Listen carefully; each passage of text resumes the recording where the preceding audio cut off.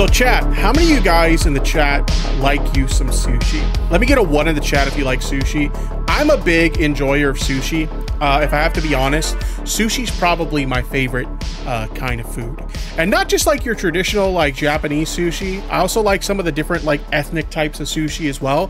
For example, here in California, we have a lot of um, like Latin or Mexican type of sushi places. I haven't tried any of them yet personally, but I've heard they're pretty good. So at some point, I definitely want to try those. But in any case, we're going to talk about a sushi place uh, that was opened, an Australian style sushi place uh, that was opened in West Village that has uh, sparked a little bit of controversy on the internet.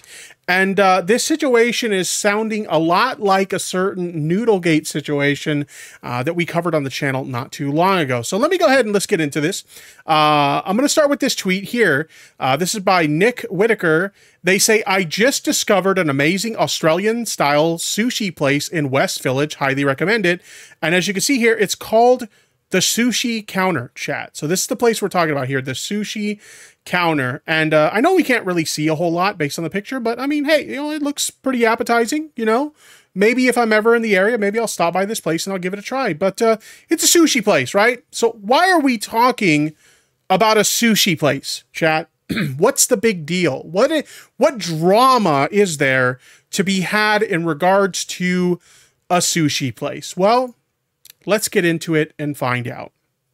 We have this person here tweeting This guy launched an all out hate campaign against a woman for opening an Australian sushi counter to the point that she had to delete all of her TikTok videos and got review bombed on Google for being a colonizer. Meanwhile, he's opening a Puerto Rican uh, is izakaya. I probably butchered that. I probably said that wrong. Correct me in the chat if I said it wrong. But anyway, let's go ahead and let's take a look at this. So there aren't any uh there aren't enough good sushi places in New York City, so I opened one. This was originally like a TikTok video from this girl's TikTok chat. Uh, this post has since been deleted, but uh, he posted this on Tik or on Twitter. Okay, he posted this on Twitter uh, that he pulled from TikTok, basically complaining about this Australian woman who opened a sushi place in New York City. All right, this this is what we're talking about: outrage over an Australian woman opening a sushi place. But it's Australian sushi. Give me a break, colonizer. This is just like outrage for the sake of just being outraged. Now, chat, this sounds a lot like drama that I covered a while back on the channel. Do you guys know what I'm talking about here, chat? We talked about a situation involving my good friend Keffals. Shout out to my good friend Keffals. This sound like this sounds a lot like a situation that she found herself in back in uh, 2021 that people still give her shit about to this day. People go as far as to call her racist for this chat. This person, Roslyn uh, Talusan, I think that's how you pronounce her name. Rosalind tweets out, Why did a white woman write a cookbook about dumplings and noodles? To which Keffals quote tweeted at the time, Because dumplings and noodles are tasty. This infamous moment has been dubbed Noodlegate chat, and Keffals has literally been dubbed a racist because of this fucking tweet. The woman in question, the woman in question, Pippa Middle Middlehurst, if I remember correctly, that's her name. Pip, Pip, Pippa Middlehurst, who wrote the cookbook, literally got bullied off of fucking Twitter over this situation, chat. I thought this situation was so fucking ridiculous. I kid you not. I bought a copy of the cookbook because I'm just like, this is fucking dumb. this is really fucking dumb. You harassed a woman off the internet and made her out to be like a racist or, you know, uh, this is some cultural appropriation shit or whatever the fuck over noodles and dumplings, chat. It's it's really fucking stupid. But this this situation, which is now cleverly being dubbed Sushi Gate, sounds a lot like Noodle Gate, doesn't it, chat? Let me get some ones in the chat if you agree. This sounds a fucking hell of a lot like Noodle Gate. It gets even crazier though. I actually tweeted about this situation. I'm glad I'm glad I grabbed screenshots of this because uh, these tweets, my understanding is these tweets are now deleted and this person has since gone privated. Somebody quote tweeted uh, Eric Rivera, the original person to call this out. This is Queer Latifah, and they said, Why is someone who is not of Asian descent, better yet from Australia, opening a sushi spot in New York City? Okay, so they they're jumping off of the original tweet. Before I show you the next tweet in the thread that they said, I want to read my caption for this. Imagine advocating for the vandalism of someone's business just because you want to virtue signal for Twitter updates. Yikes. Oh shit. Oh, what am I talking about, chat?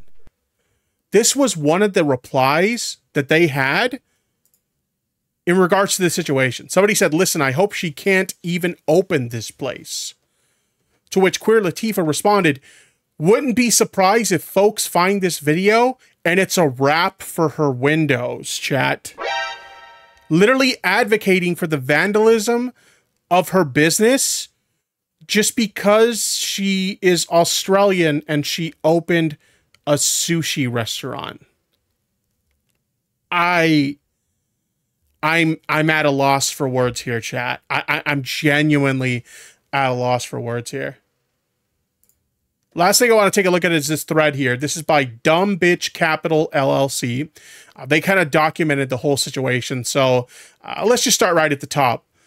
I'm thrilled to announce that the sushi, uh, that Sushi uh, Sheila's NYC restaurant sushi counter uh, is now averaging 4.5 stars on Google reviews. To explain this, she got review bombed to hell and back to where she had like a one score or something crazy low like that on her Google reviews because everybody review bombed this shit but she got a 4.5 stars on Google reviews. Thank you to you absolute base legends. For those of you who have a job or a life, yesterday pathetic uh, woke failed chef and huge loser Eric uh, Rivera Cooks bullied her into leading, deleting all her TikTok posts and caused a massive woke mob to give Sushi Counter uh, tons of one star reviews. Okay. As an American, this type of behavior absolutely disgusts me. Sushi Sheila is an entrepreneur. She is uh, the absolute embodiment of the American dream. Eric is a parasite that couldn't stand to see this girl smile. So here we have again the original tweet.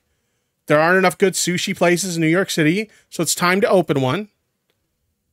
And here we have uh, the rest of their thread coping about people saying it's Australian sushi. Give me a break, colonizer laughing at whatever this is, but you can't really see it. Sorry about that.